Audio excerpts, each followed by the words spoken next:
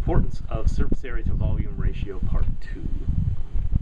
In the previous episode, I showed you a way to calculate the surface area to volume ratio and that as you got smaller, bigger to smaller, you actually increased the surface area that is exposed to the outside world relative to the volume of the sphere. This surface area to volume ratio turns out to be very important in chemical and biochemical reactions it even has influence on the different size of mammals and how they determine their metabolic rate.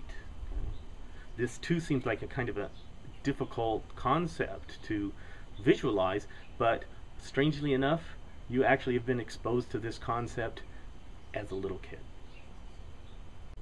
The experience is candy, sugar, pixie sticks as opposed to lollipops.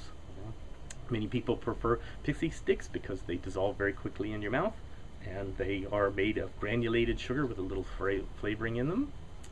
Other people prefer a lollipop. This particular type of lollipop is a rock candy lollipop. This is crystallized sugar. So you already know what's going to happen, what the result's going to be, but we're going to do an experiment because that's science to see which dissolves faster in a cup of water.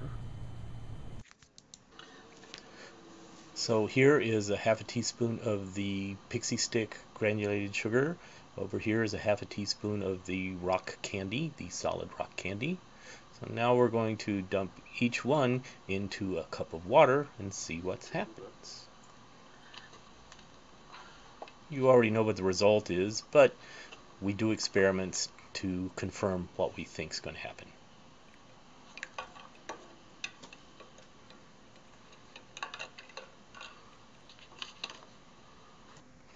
As you can see, the pixie stick almost immediately dissolved, whereas the rock candy is still sitting there very slowly dissolving.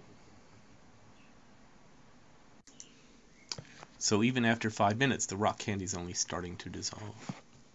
The importance of this manipulation of surface area to volume ratios is so essential in biology. I set up another demonstration to help you understand its importance green balls are doing one of the strategies we talked about to increase the surface area of a sphere, and that is they get smaller.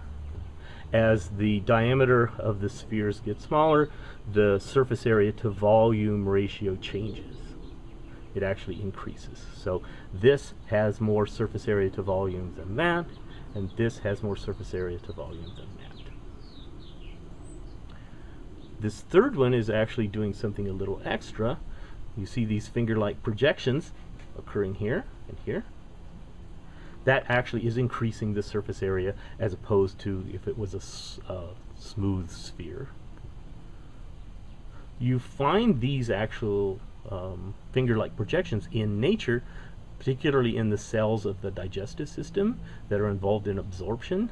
The surface area of the digestive system has these convolutions, these folds, which are called villi and that increases the surface area of the gastrointestinal tract. So these things can be really useful. Here you see a model of the human brain, and this is that sphere that had the finger-like projections that increase the surface area and you can see these little valleys and folds in the human brain the human brain is in fact doing the same thing it's increasing its surface area to the volume in the skull by putting in more folds if you compare a human brain to a rat brain, you'll actually see that the rat brain doesn't have any folds in its cerebral cortex. It's actually very smooth. So this actual wrinkly nature of the human brain does in fact have something to do with intelligence. But that's something we'll get to in later episodes. So it's your own preference. Do you want instant gratification or do you want a nice sugary experience for a long time? Um, it's your preference. Strangely enough, the cell, depending on what the cell needs, it also manipulates this surface to area volume ratio? It depends. In science, in biology particularly, a lot of it